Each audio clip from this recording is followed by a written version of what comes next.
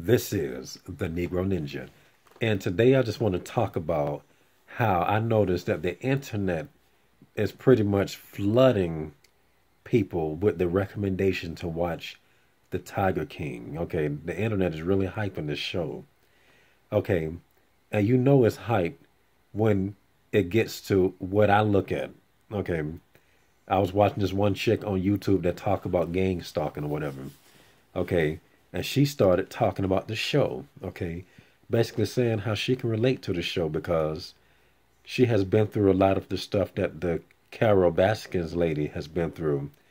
Okay, meaning that the harassment that the uh, the dude of the star of the show is doing to her, she has been through herself. Okay, um, and she was basically like the show is just about narcissism and egotistical people, you know, that just go to the extremes to get back at each other and this, that, and this.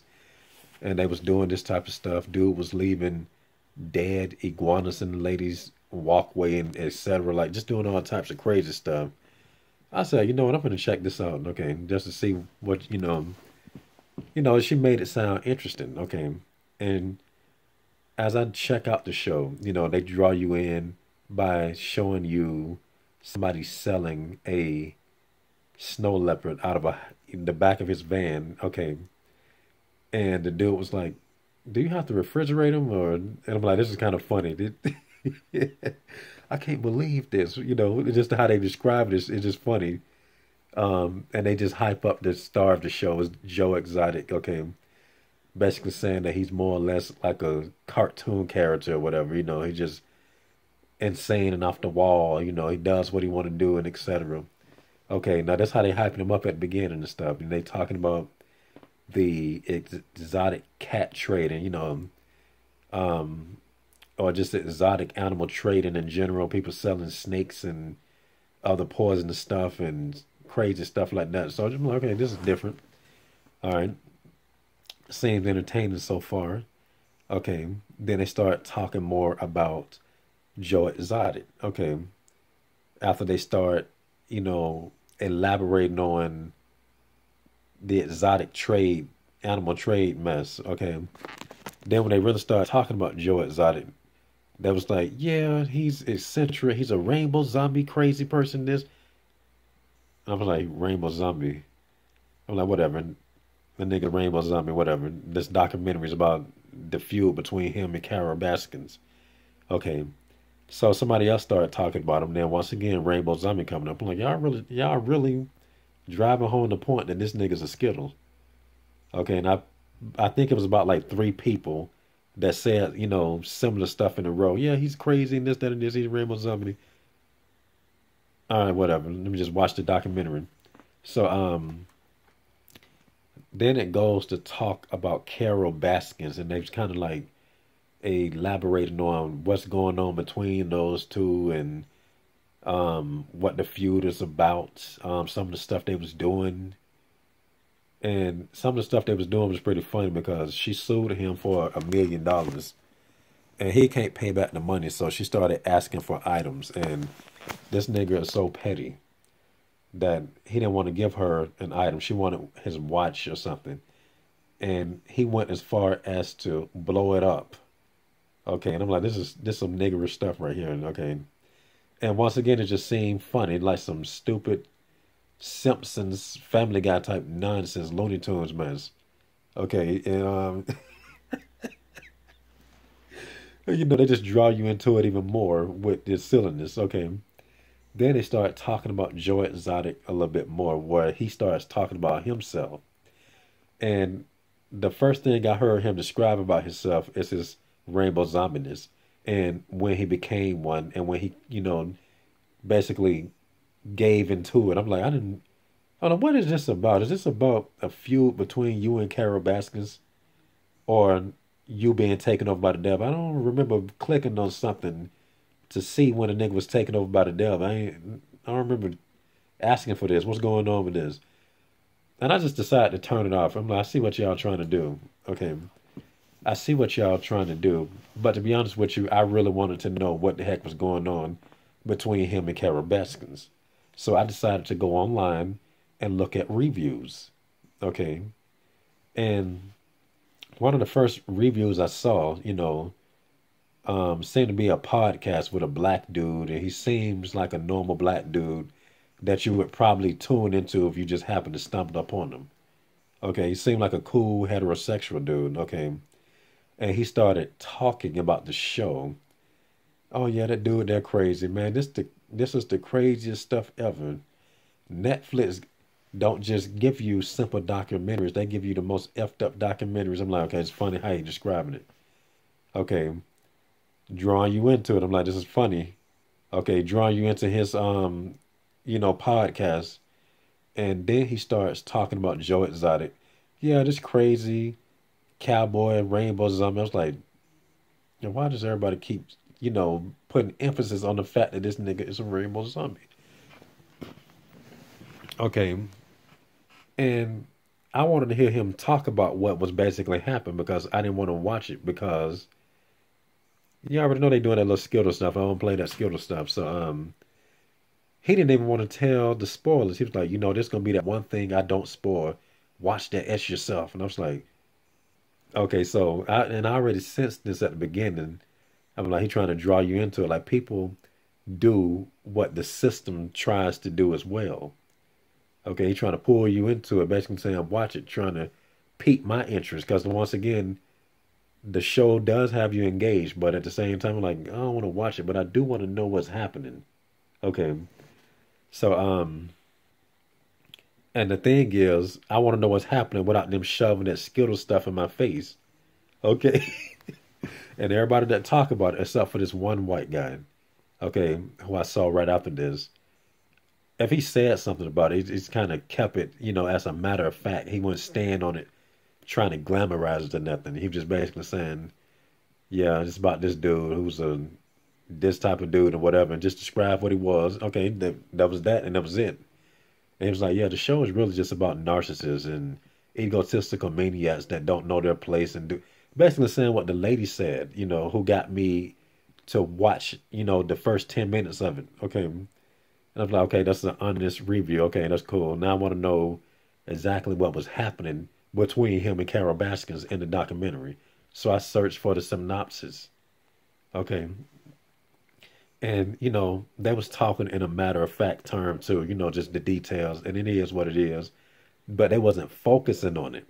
They were just kind of telling you, you know, play by play what was happening, whatever. Or um what what the what they deemed the most important parts of it. And once again, Rainbow Zombies did come up though, even though this person wasn't glamorizing it or nothing.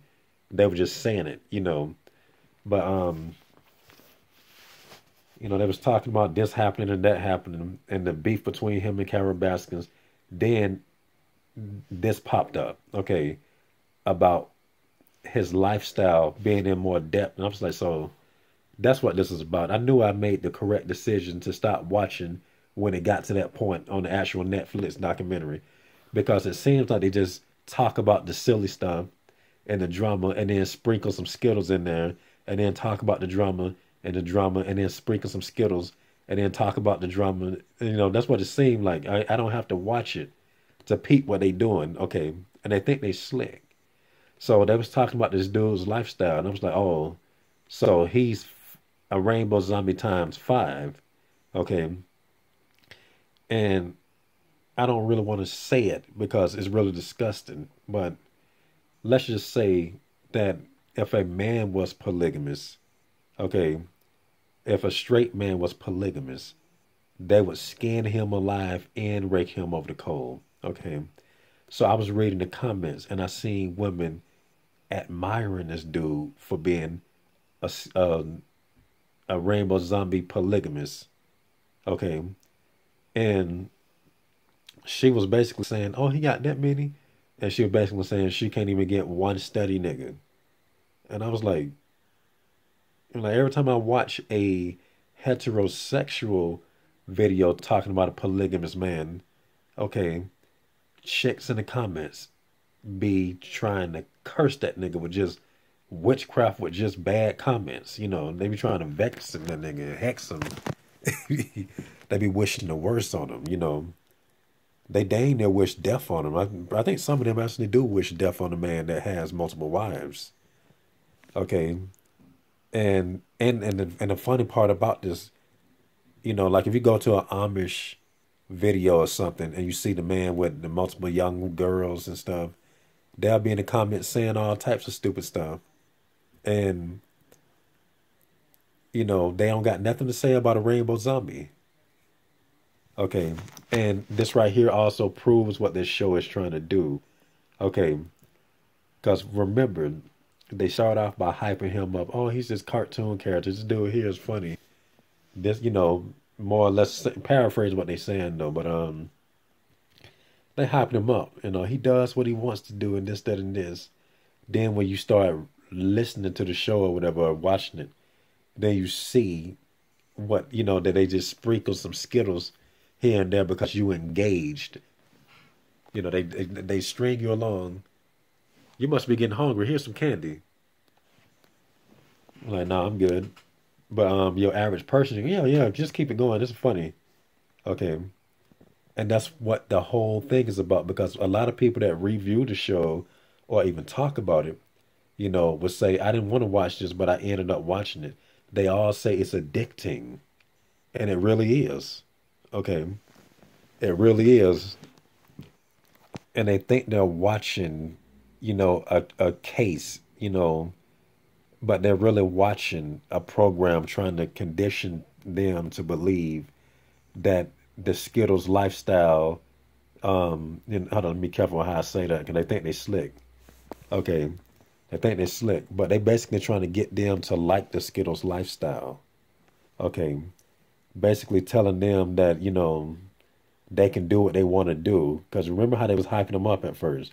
Then you also have to remember that he ran. Um, Joe Exotic ran for president in 2016, and I was like, oh man, you know, because I don't know who the heck he is, and I just saw the um the campaign ad during the synopsis that I was watching, and I was like, oh yeah, that nigga did run for president, you know. And he was basically hyping himself up the same way in his campaign.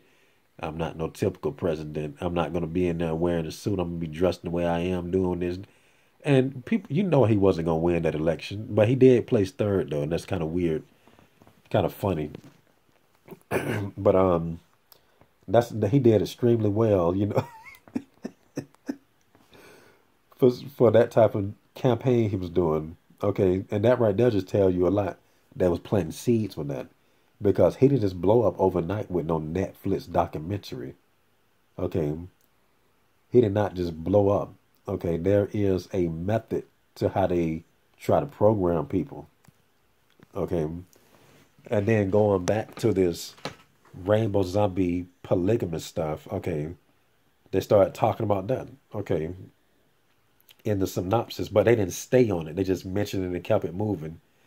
But like I said, it was chicks in the comments praising that dude for that, while they would curse a straight man for having five wives.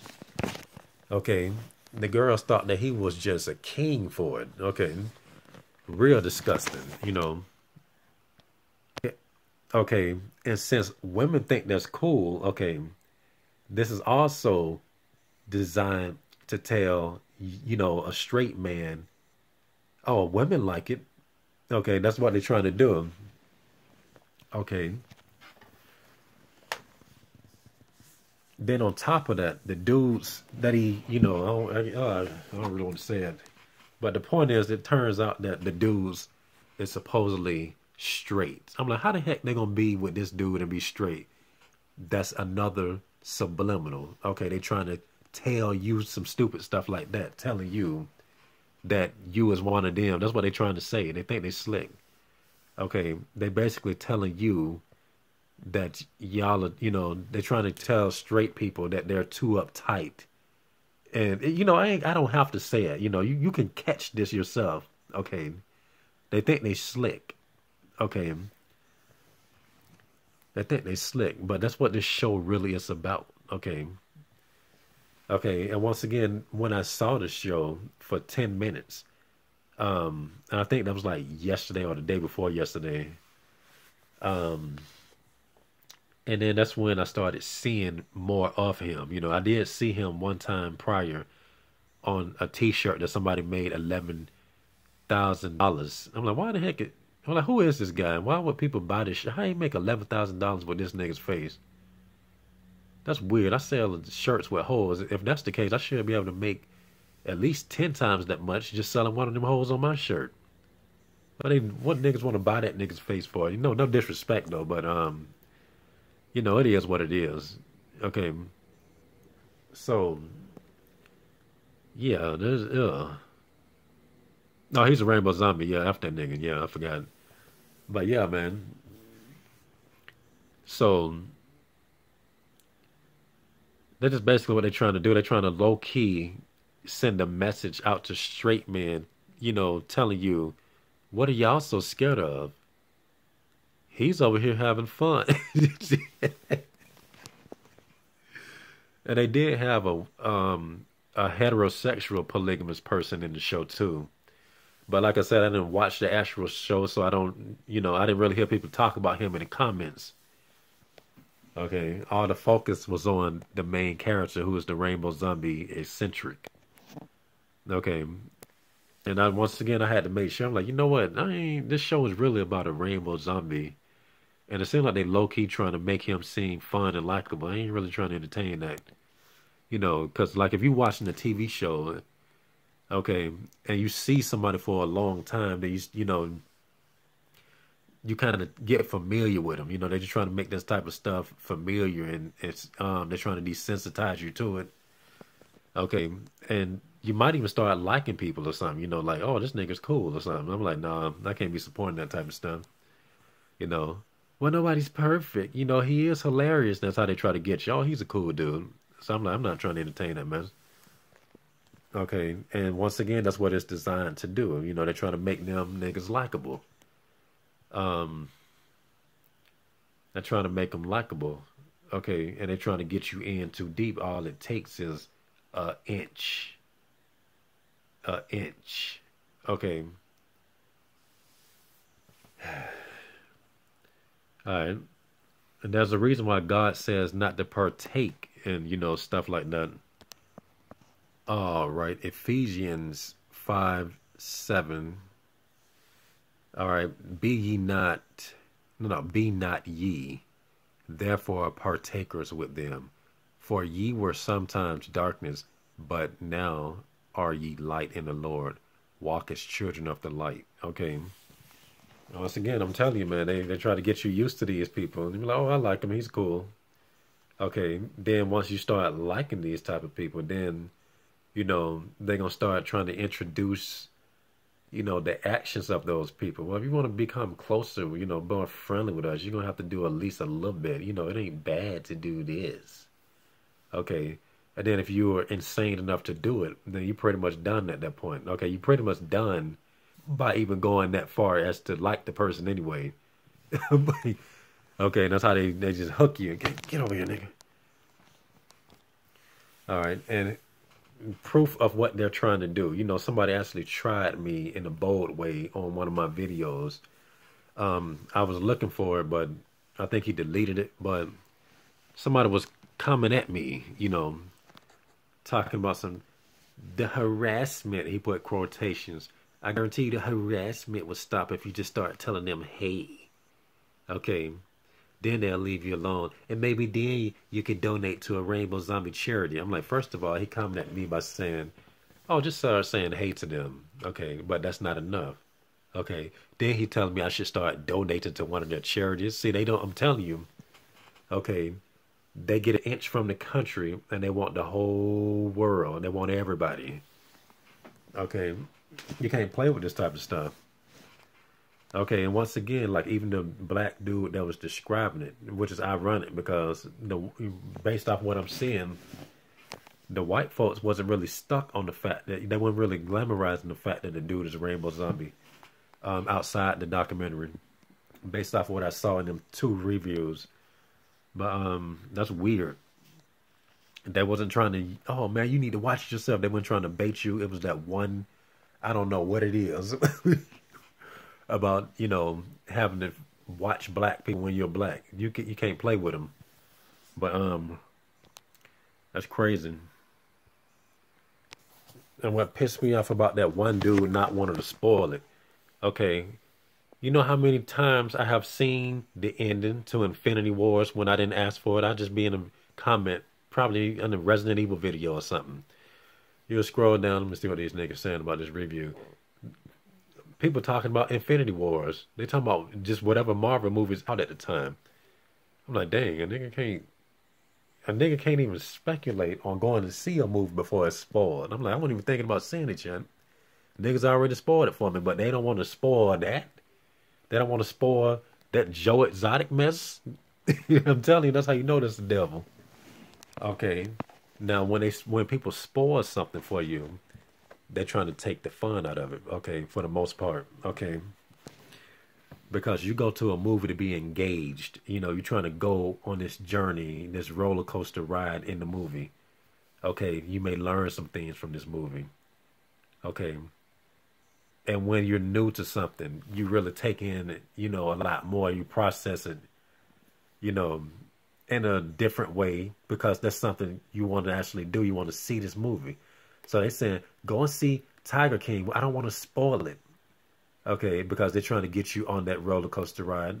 Okay, but it's a workshop. You know, you're going through this tunnel on a roller coaster thing, and there's maybe like this little room or barn. You know how it be on a Batman ride or whatever, and then you come out brainwashed. They're trying to low key do that. Like these people, the hive mind is something serious, and you know everybody don't act like this when they have a hive mind they don't always necessarily do that. They look like they normal. All right, but that's all I got to say for this rant. And this has been the Negro Ninja bringing you your Negro message for today. Negro out.